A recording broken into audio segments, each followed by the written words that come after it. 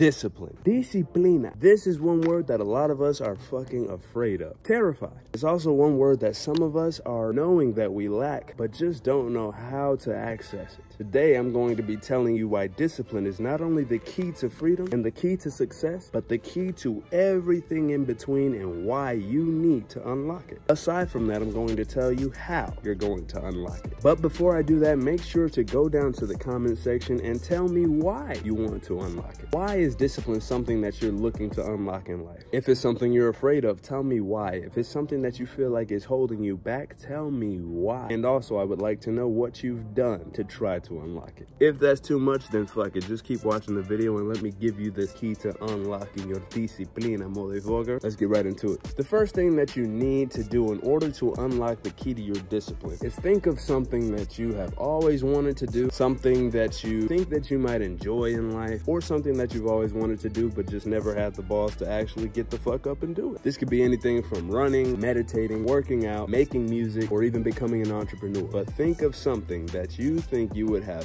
fun doing or something that you want to attract into your life. Step number two, you are going to challenge yourself. Now, what do I mean by that? You're going to find a fun way to start doing whatever this thing is that you've always wanted to do but never had the guts to do. My advice would be to brainstorm a list of 30 to 50 things that would help you to focus on, give attention to, or slowly start to practice in your life that is specifically aimed at that one thing. Make sure to get creative with this. What are some fun ways that for example, you could start working out. Maybe that's doing a Zumba class. Maybe that's doing 10 push-ups in the morning. Maybe that's just dancing to the point where you sweat your ass off. But find 30 to 50 different ways that you could start working out from where you are and what point you are in life right now. Why do you want to do this? If you don't have motivation, it's going to be quite hard to be disciplined. So you want to make it fun. Step number three, you need to take action. This is where everybody pretty much fucks up because nobody really has that motivation. Nobody really has that drive. And a lot of people like to procrastinate and think, think, think, think, think without taking action. This is probably the most key component aside from having fun with it. It takes 21 days to actually create a habit. Scientifically proven. I'm not just saying that. Look it up yourself if you don't believe me. In taking action, what you want to do is from this list of 20 to 30 things, excuse me, 30 to 50 different things that you have brainstormed in different ways that you could start implementing a way to practice and give thought to this thing that you've always wanted to do but never gave yourself the actual gateway to doing. You're going to take from that list and either choose one thing to do consistently for 21 days or if you're somebody who likes, you know, variety and doesn't like to stay on one thing consistently, you can pick different things from that list to consistently give thought to for the next 21 days. Now, you're tricking your mind to create a disciplinary system that is fun for you. You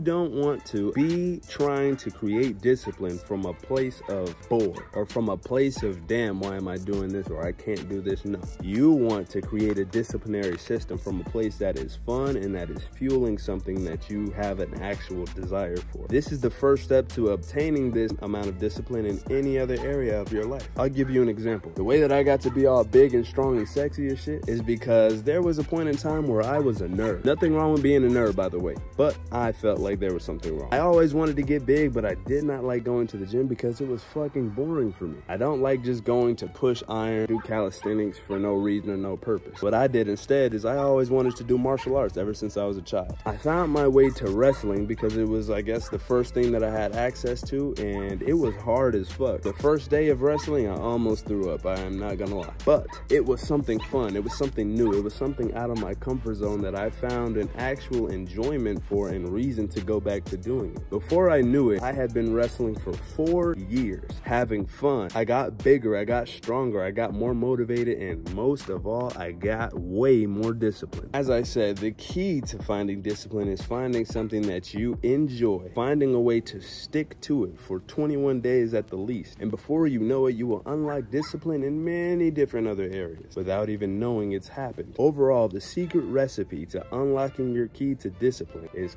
consistency. And before you know it,